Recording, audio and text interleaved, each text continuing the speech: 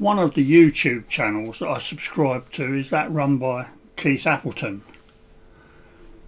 It's February 2019 and Keith has just started to serialise the refurbishment of a small Tangye engine and that prompted reminded me that back in 2007 I actually machined up a double Tangye engine from a set of castings to a design by Edgar T. Westbury.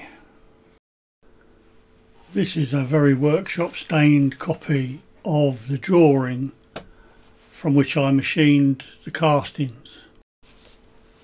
Back in the 1920s, Percival Marshall Limited published a whole series of uh, small publications on model engineering topics. The one entitled Lathe Accessories is actually written by Edgar T. Westbury. The book on model steamer fittings is by E.W. Hobbs and I've got one or two of his uh, publications. What's interesting about this particular uh, copy, however, this little one, is that it's actually signed Edgar T. Westbury.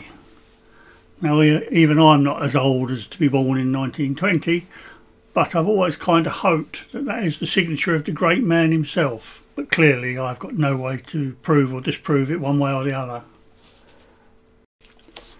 In 2007, when I made this engine, as far as I know, there was no YouTube, or if there was, I didn't know about it, and I had fairly limited uh, camera equipment. What follows is just a couple of uh, a bit of cine film and a couple of still shots that I took at the time I was actually making the, the mill engine.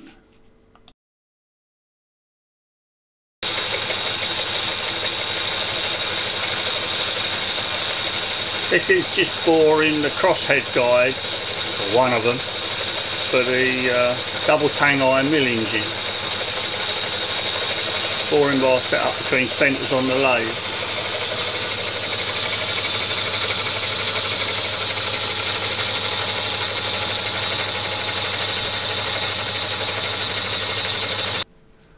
This is the setup for fly cutting uh, the end flange on one of the trunk guides for the double Tangye.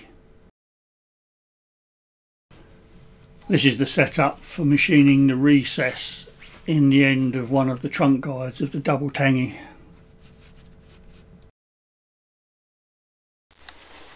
Probably a slightly unconventional way of marking up the um, casting for the centre line of the uh, trunk guide while it's still set up for boring taking a final cut across the base of one of the trunk guides of the double Tangye.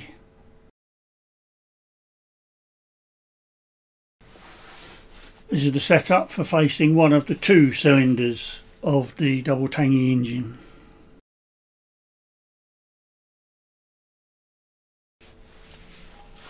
This is the setup for boring one of the two cylinders of the double Tangye engine.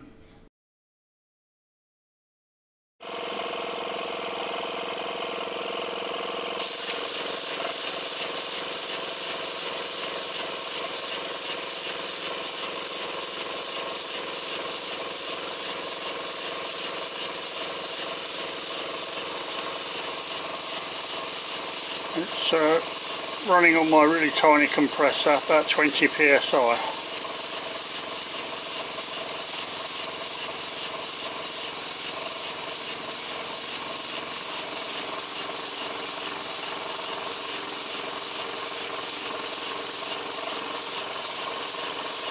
This speed there's nothing for the governors to do.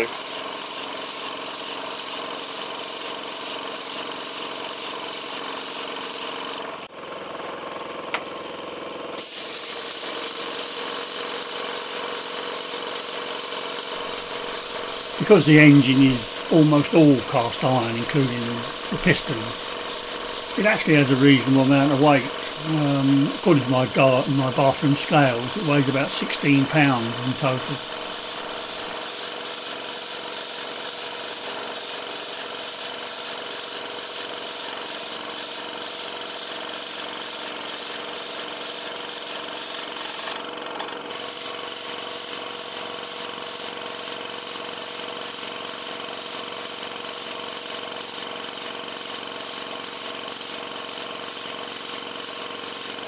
It's actually quite cold today, maybe 5 degrees C. Uh, I have put a little bit of uh, oil in the motion and um, as a result of the temperature the oil is quite thick which I don't think is doing wonders for the, uh, speed at which the engine is rotated. Pressure's now dropped inlet pressure's dropped to about 15 psi. The compressor can't quite keep up with the cylinders. One of the features of the engine is that the um, the big end lubrication there is a hole drilled through the end of the crank uh, to meet a hole in the end of the uh, of the crank disc which has been blanked off and the idea is that the oil goes into the big end and is thrown up by centrifugal force to actually lubricate the big end of the conrod which is um, quite a neat idea really and not difficult to do I have to say.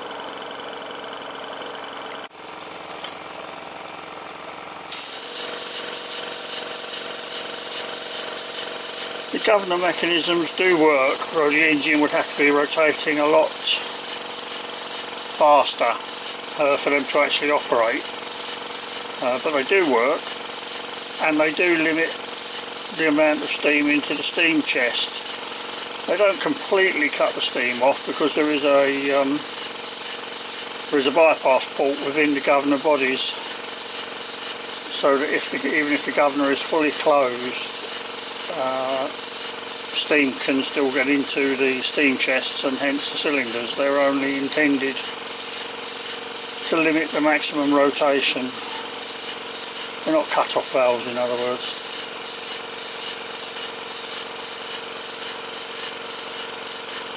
I'm quite amazed that it still continues to rotate. I mean pressure's now dropped on the compressor to about 13 or 14 psi so I guess there can't be a lot wrong with it. Friction wise, anyway. To the best of my knowledge, and I'm certainly not an expert, Tangye did not actually produce and prototype an engine, a twin cylinder engine of this type. I think they did do a, uh, a twin cylinder cross compound, but this is just a normal simple expansion. As far as I know, they never did make one, so this will be a flight of fancy, I guess, by uh, Mr. Westbury.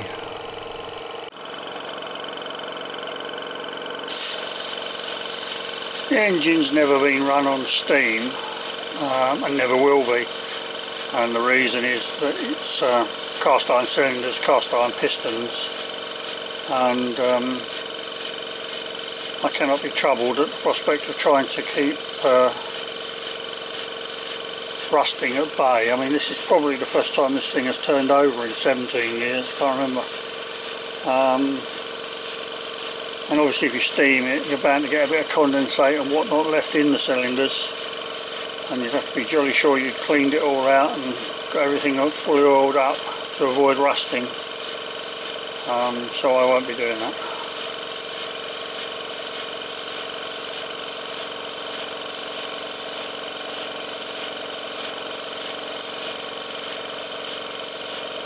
Probably can't hear it over this wretched compressor, but it makes a very pleasant sort of chuffing sound through the exhausts.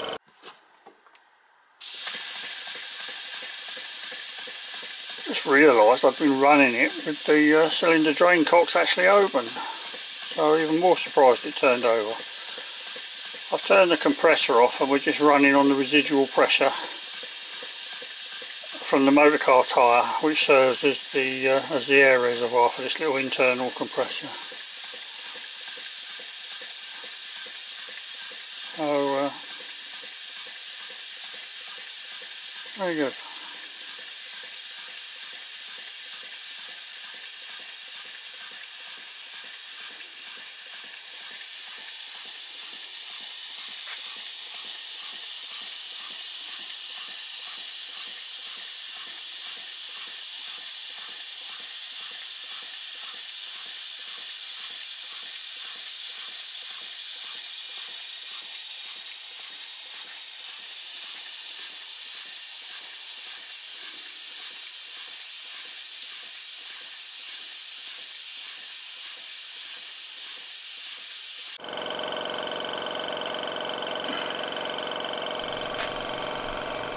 The motor car tyre and uh, small compressor lash up that I use for testing uh, these tiny engines.